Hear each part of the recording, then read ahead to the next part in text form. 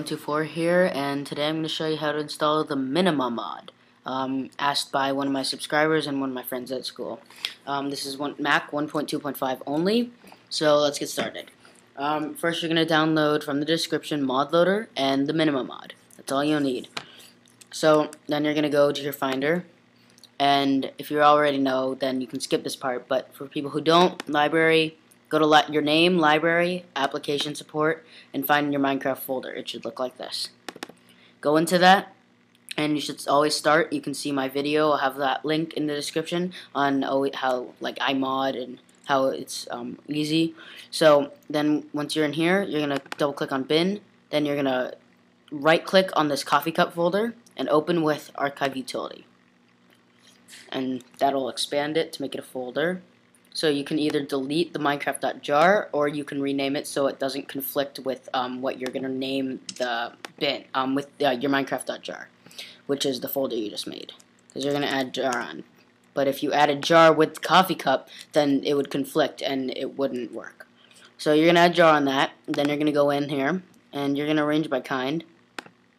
And you're going to delete the meta INF folder.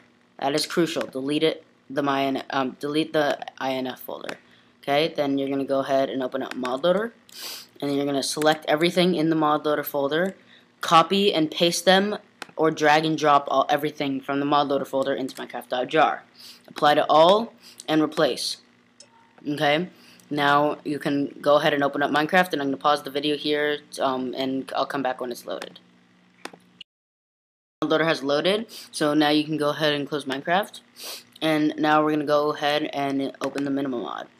So you'll see all these folders and you're going to go into bin and this is a really simple thing. So you're going to go back um, and you're going to go into your bin. So first go back into your Minecraft folder where it has everything here. Then you're going to go into your bin and you're just going to copy this class or drag that class into your bin. Then you're going to go back and you're going to go to the config folder and that config is in the, sorry is in your Minecraft folder right here and all you're going to do is copy this to the config folder. Go back, and you're going to go into your mods, and uh, when you install mod loader, it should create these two things, mod folder, a mod folder, and a mod loader text. Don't worry about the mod loader text. Don't touch that. Just open the mods folder that mod loader created, and drag this into there, or copy and paste. Okay, so I'll pause the video, and I'm going to open Minecraft to see if it worked. I'm back and it has loaded and if you follow the steps it will work. So that is how to install the Minema mod for Mac 1.2.5. Thank you guys for watching. Have a nice day. Don't forget to rate, comment, and subscribe. It will really help me out. And I really appreciate it. Have a nice day, you guys. Thank you.